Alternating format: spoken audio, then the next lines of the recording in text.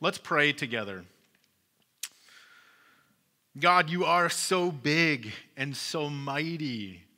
There's nothing that you cannot do. You can reach sinners in our lost and hopeless place and redeem us. You can comfort broken hearts. You can give hope to those who feel overwhelmed and weary. You can restore those who are broken. You can unite a people for yourself despite all of our differences.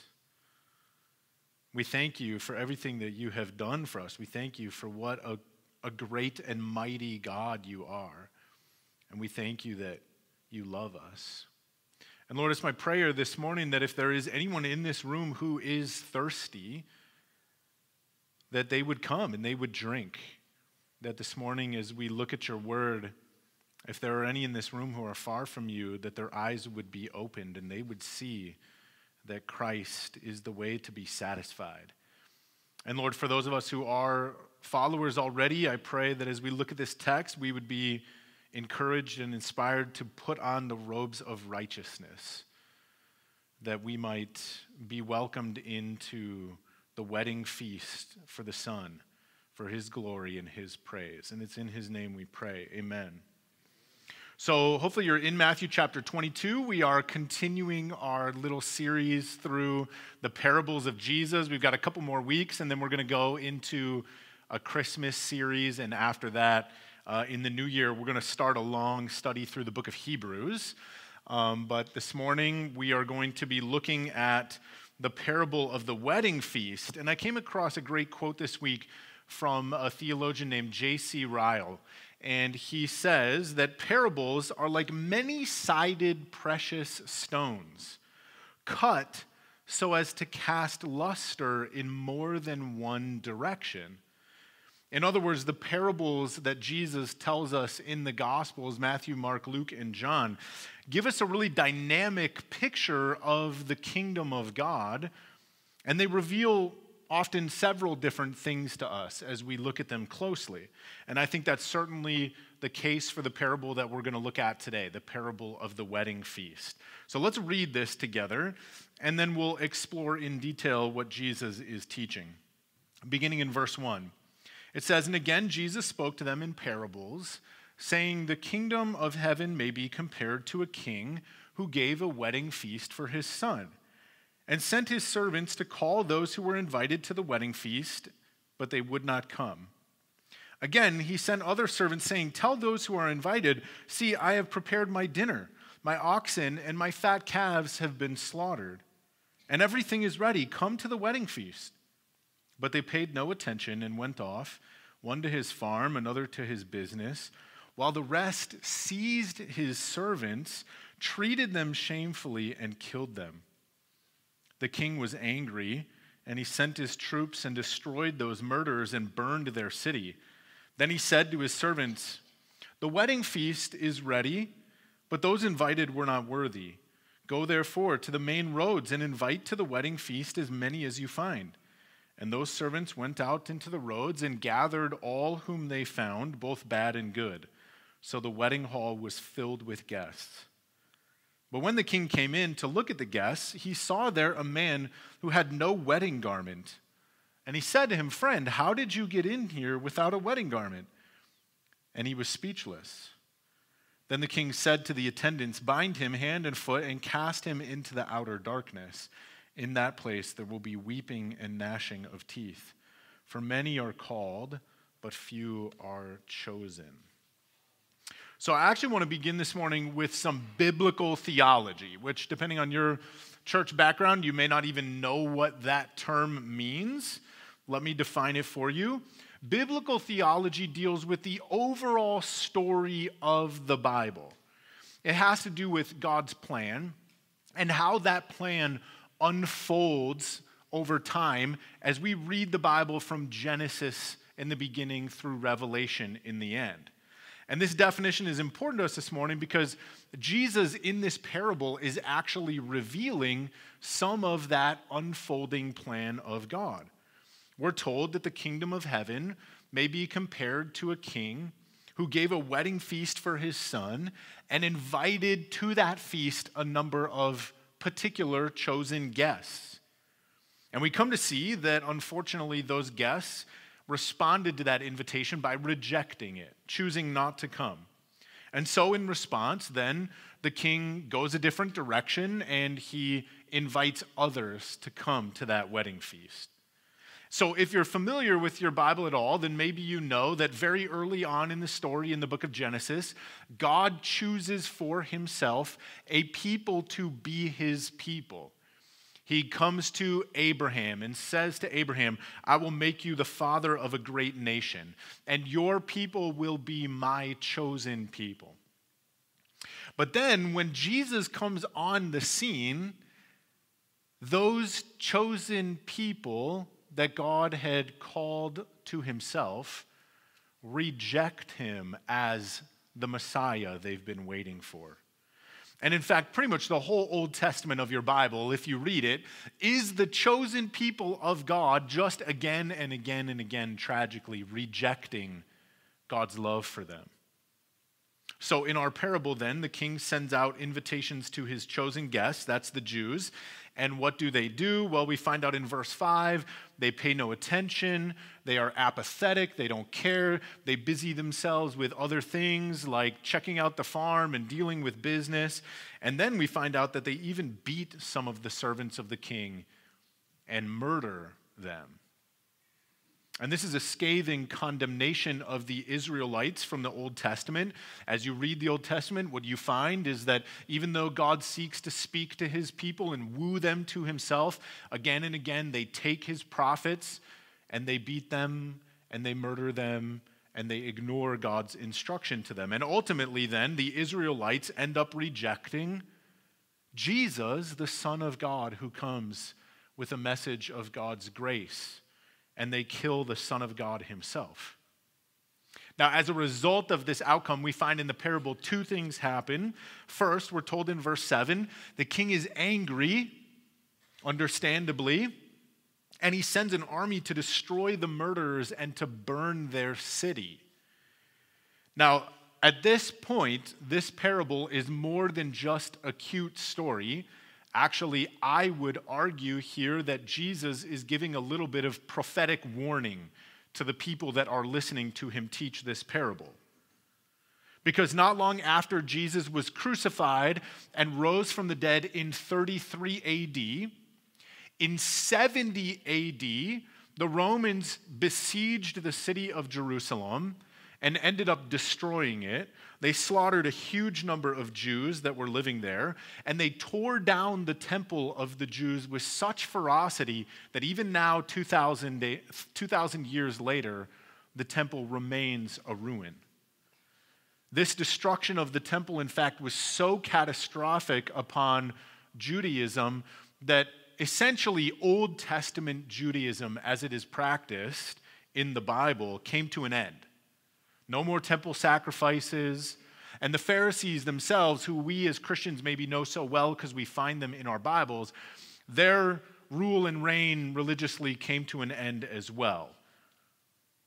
The temple was destroyed and Judaism was forever changed. And so, verse 7 then in our parable hints at this future destruction that God intends upon the city of Jerusalem. The second thing the parable reveals is that when the Jewish people rejected God tragically, well, God used that to advance his plan of salvation into the next stage. Instead of his wedding feast being exclusively for the Jewish people who, in the end, rejected him, after burning their city and destroying them in verse 7, verse 9 tells us what did the king do? The king who represents God sent his messengers out into the roads to invite anyone and everyone who would respond to the invitation to come and be welcomed into his party. And this is basically the Great Commission of Matthew 28. This is where Matthew is going to ultimately end his gospel, with Jesus saying to the disciples, his servants, Go, go out into the ends of the earth and make disciples of all nations. And so, once again, in our parable, then, Jesus is giving a prophetic picture of the future, where the kingdom of God will be offered not exclusively to the Jewish people, but in addition to the Jewish people, also to the Gentiles, all the people who are not Jews. Now, look back in your Bible with me at chapter 21, verse 43. We didn't read this, but you should see it. Speaking to the Pharisees just before this parable of the wedding feast, Jesus says to these Jewish religious leaders, Therefore I tell you, in chapter 21, verse 43, the kingdom of God will be taken away from you, and it will be given to a people producing its fruits. In other words, because the Jews failed to have faith in God, they ended up rejected by God, and God then sent messengers out to find people who would respond to his invitation.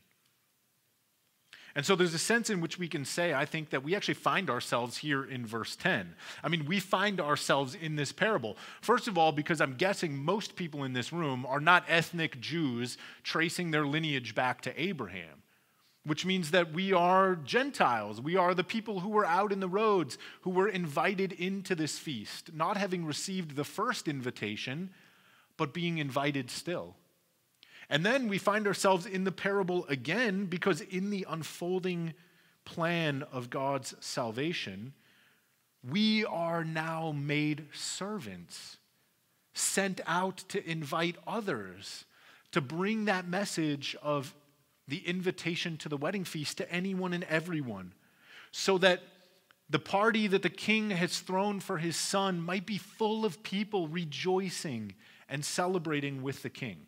To say it another way, as Christians serving the king, we are tasked with taking the gospel message, the good news of Jesus, out to those who are willing to hear, inviting others to join us at this wedding feast. This is our mission as Christians. Did you know this? Did you know that as a Christian, you actually have a mission for your life to go into the world and bring people into this party so that, as the king says, his wedding feast might be full. And I pray, this is my prayer, that this mission will be at the very center of the heartbeat of our church. You know, Maricopa has something like 80,000 people living here now who need to hear that they are invited to this party. Okay, so there's a little bit of biblical theology for you, a brief overview of God's salvation plan, kind of from Genesis to the parable. Let's look a little bit more closely at the actions of the king. If it's not obvious, the king represents God. And first, we're told in verse 2 that what motivates this king to throw this lavish party is to honor his son on his wedding day. Jesus is the Son of God, He is the Son of the King. And the Bible tells us that Jesus has a bride. Did you know that? The bride of Christ Jesus is the church, the people of God. We are the bride of Christ. I mean, one small representation of it in time and in location on earth. The people of God to whom Jesus has pledged his life and his faithfulness now and forever. We are the bride of Christ. And at the end of history, after the resurrection from the dead, the people of God will spend eternity in the presence of God, celebrating with Him all that Jesus did to give Himself to save the church, to save a people for His own glory. And if you trust in Jesus, guess what? You get to be at this party. And I promise you, there will be nothing like it. But what I want you to see here is that the king actually did not throw this party for you. He didn't throw it for you. In fact, you know what? The bride is never explicitly mentioned anywhere in the passage. Did you notice that? We're told about a wedding feast for the son of a king. There's no mention of the bride at all. The focus and all of the attention is on the son. Verse 2 tells us the king throws the party for his son. that his son might be honored, that his son might be exalted. And look, I want you to understand something very important here, okay? This story is not about you. It's not. See, we live in a narcissistic age. We are a self obsessed people. We're the kind of people who post something on social media and five minutes later want to know how many likes, how many views, how many shares, how many people are talking about me. Everywhere you turn, our culture is telling you it is all about you, about how you feel and how important you are and what you deserve and what you need. And we are so self centered that we could even read a text like this and hear that we are a part of the bride and the king is throwing a party and think, this party is all for me. And it's not. God has not worked this whole historical plan through all of the ages of history for you. I'm sorry to tell you, God has not planned all of this for your sake or my sake. Now, look, there is a sense in which this is true, so don't misunderstand. God does love you, and He loves me, and He treasures us so much that He sent His Son to shed His blood and die for you. So you are not insignificant. God has brought about the working of this master plan so that you might be saved and loved and redeemed and well cared for throughout all eternity, that you might be called a child of God.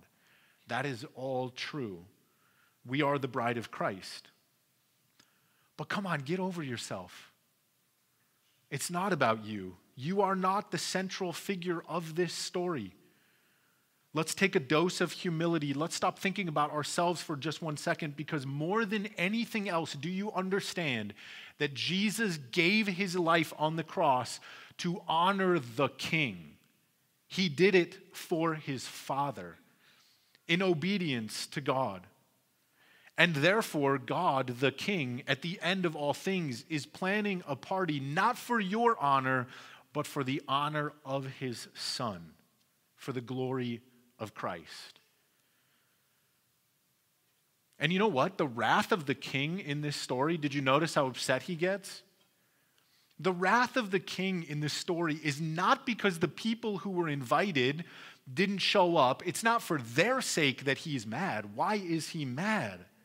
Not because they will miss out, but because they have dishonored his son by refusing to come to the party the king has thrown in the honor of his son. And so I just want you to understand this point. The gospel is not actually about you, it's not.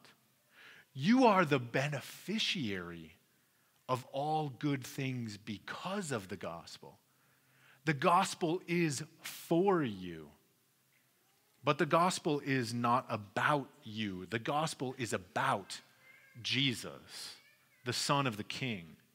It's all about His love, His power to save, His beauty to redeem. It's all about His glory and His grace towards undeserving sinners like you and like me. And so the wedding feast is for the Son, praise God, and we are blessed to be invited as guests.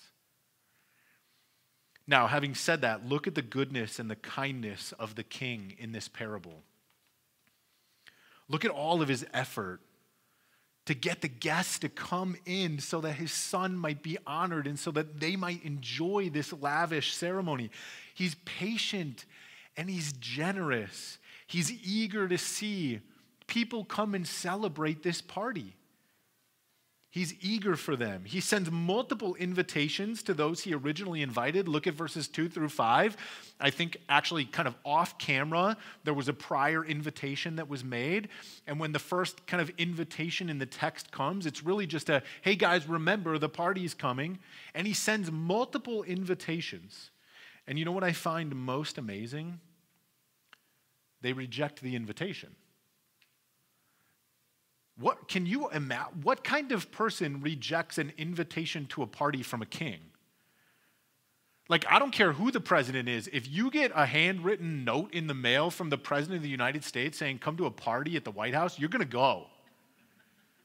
And if, and if it's not the president, then think of some billionaire or some famous movie star, some rock star. I mean, that's probably about as close as we can think about this.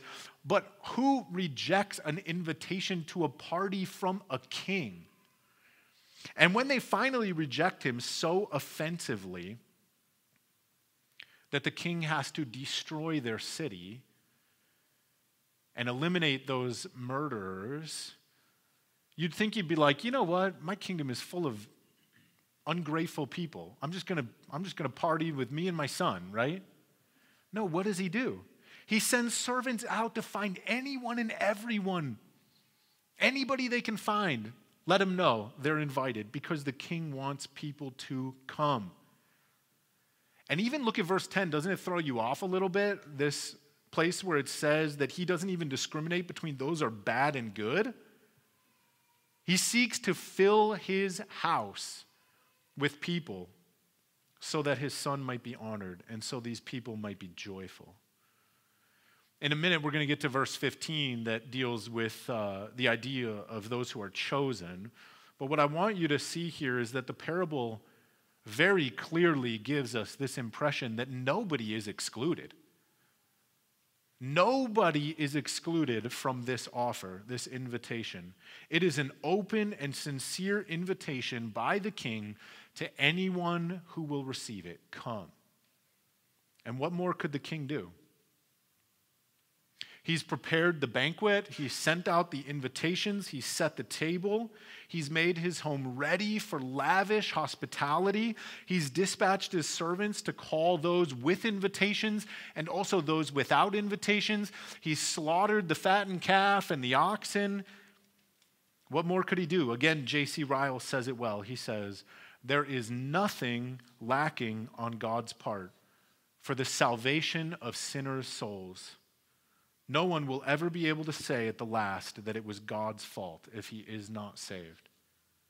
The Father is ready to love and receive. The Son is ready to pardon and cleanse guilt away. The Spirit is ready to sanctify and renew. Angels are ready to rejoice over the returning sinner. Grace is ready to assist him. The Bible is ready to instruct him. Heaven is ready to be his everlasting home. One thing only is needed, and that is the sinner must be ready and willing himself. So, I guess my question for you at this point is a pretty simple one Will you accept the invitation? Will you come to the banquet? Where else would you rather be? Would you seriously be one of those people who the invitation is extended to and you say, No, I don't want to be at the wedding feast of the king? It is the will of the king that you would come and give honor to his son. Won't you come? What would stop you? Verse 10 tells us the wedding hall will be filled with guests. Won't you choose to be one of them? So, the invitation to the wedding feast of the Son, it's a free invitation. And right now, I am acting as one of those messengers, proclaiming to you the invitation. If you've been waiting for God to do something in your life, here it is. He is speaking to you. You are invited. Come now. Repent and believe and enter into the joy of the King. But then the parable goes on to tell us about this interaction between the king and one of the guests who shows up, right? Having invited everyone and anyone to enjoy the feast, the king then enters the room in verse 11. And I think he's expecting to find that since he has prepared so much, everybody who's there would be appropriately prepared to celebrate with him. And he sees there a man who's not wearing appropriate clothing for a wedding. And seeing how generous this king has been, I want to tell you that I think it's safe to assume that the king, having prepared everything else, certainly would have had the appropriate clothing prepared and ready for anybody who needed it.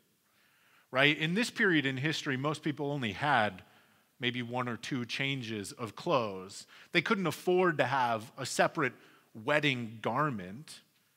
And so I think it's a proper for us to believe that the king here would have had all of this ready for his guests. If you came from the road and the king had said, Go into the roads, then we could expect the king, when you came in, would have robes ready for you to put on. He would have thought of this problem. And notice, I'll make the argument from the text itself. Notice that the man is speechless when the king says to him, Friend, how did you get in here with clothes like that?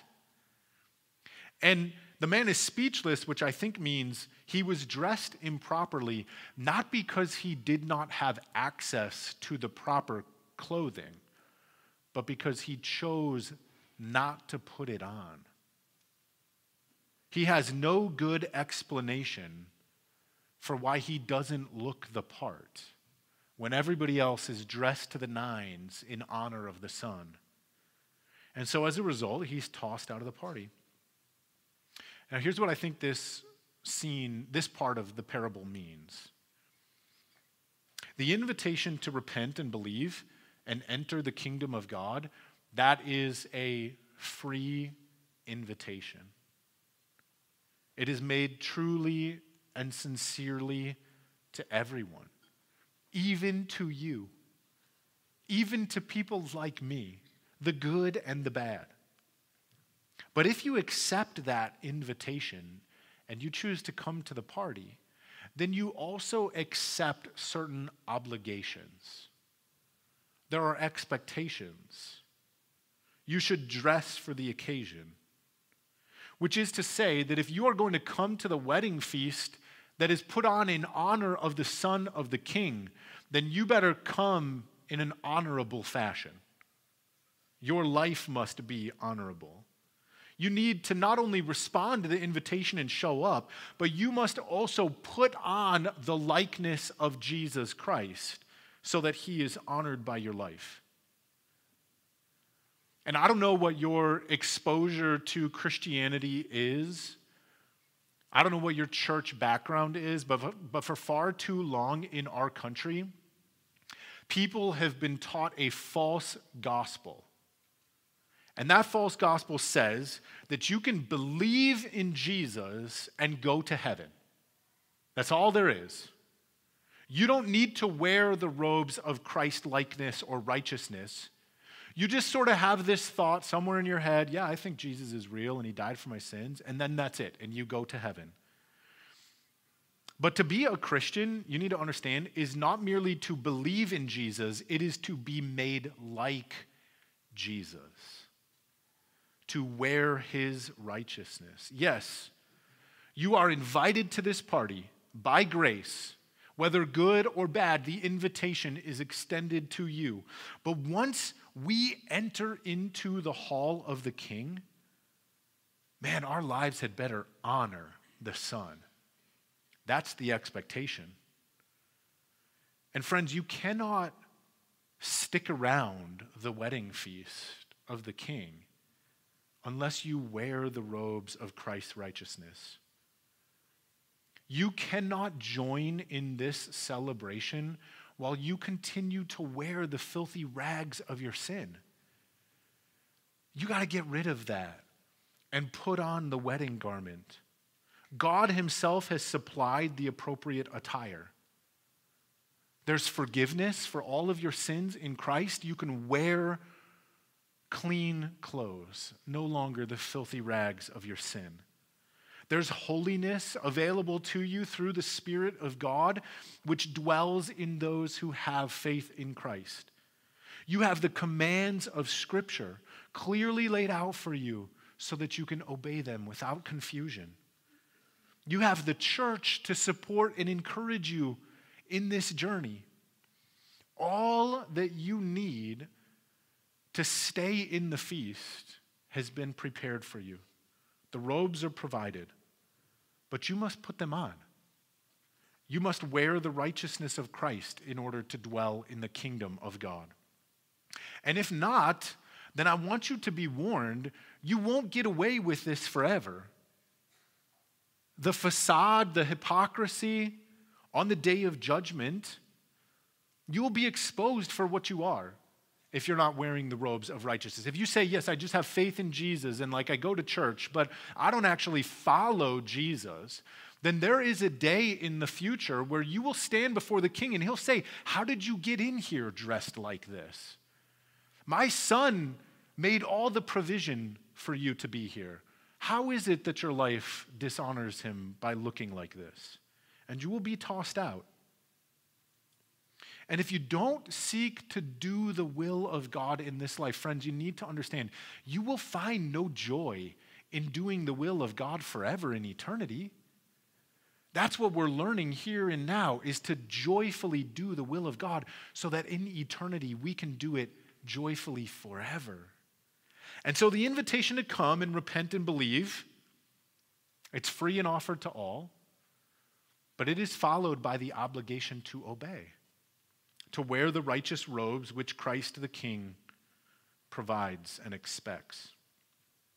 Now, finally, the parable ends with this rebellious man being cast out of the wedding feast by the command of the king. And Jesus concludes the parable with verse 14 For many are called, but few are chosen. So the gospel message must be proclaimed far and wide to the ends of the earth. I think you are one of those messengers. That's why God has placed you next to your neighbors and with the people that you work with. It's why He's made your friends have the friends they have and the parents that you connect with, etc., cetera, et cetera. But we find here that not all who hear will be received and welcomed into the kingdom, only those who are chosen. And this is uh, the part that really tends to bother more than a few people. They don't like this idea that the king gets to choose, as if the choice of the king means they have no choice in the matter, as if these two things must be opposite one another. But I want to tell you, it is the sovereign right of kings to do as they please. See, you and I, we don't understand this because we live in a democracy. In a democracy, supposedly, you and I are sovereign. But the people listening to Jesus tell this parable, they would have had absolutely no bother hearing this. They would have listened to Jesus and found no problem with this statement. A king gets to do as he pleases. That's the very nature of a king. That's part of what it means to be a king. A king is actually above the law because the king is himself the law. And God, don't you understand, is the king of kings and the Lord of lords. And there's nobody who has a power or authority that supersedes his. He's the creator. He's the author and the origin of life. He sustains all things. He's the ruler over all things. There's nothing higher or greater than him. All that this God wills shall come to pass, and there is not another will that can stand against his will. And so it is the prerogative of the king to choose who attends the feast for his son. Now, there are two ways, I would say, there are two ways that you can respond to a message like this, this truth. You can get upset about it. You can try and claim the Bible says something other than it says. I think you're going to find that difficult to do. You can be offended by the message that the king is the king and you're not. And you can think it's not fair. You can lament over all the people who are not chosen and believe that this makes God into some kind of tyrant who is actually evil in his nature because he exercises his right as God to be God. And you know what's really amazing about that? I think that position is actually quite offensive to God. But what's amazing about it is God will actually let you have that position if that's what you want, at least for now. I think when you stand before the king, you'll understand what it is to be king. But actually, for now, you're free to think that way. But it doesn't change the fact that God is still the king. Now, the other option is instead of being offended that God is king, you can hear the invitation and you can just respond to it. Don't you understand? The invitation has been truly and freely offered to you. And right now, in this moment, the only thing stopping you from entering into the feast of the king is You. Your choice. Your decision. And so there's no use getting upset that you aren't chosen when the invitation is right here, right now for you to choose and accept and respond. And so here's the message. If it wasn't already clear, come to the party. Please, please come to the party.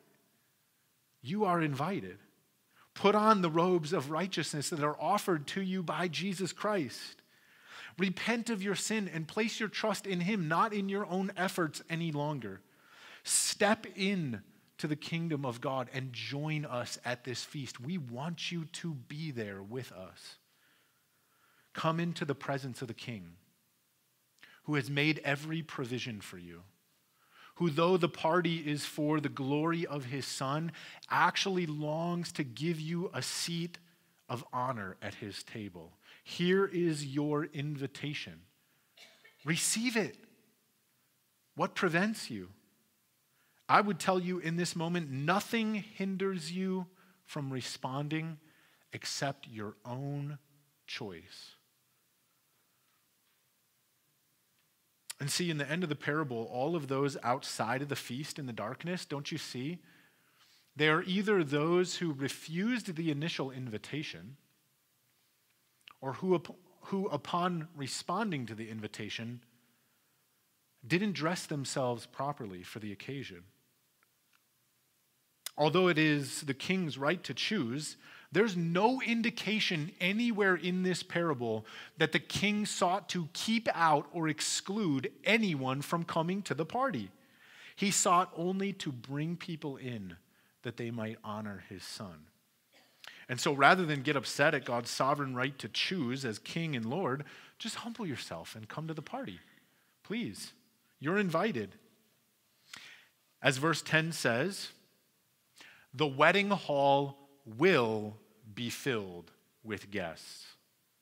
Won't you be one of them? Won't you come?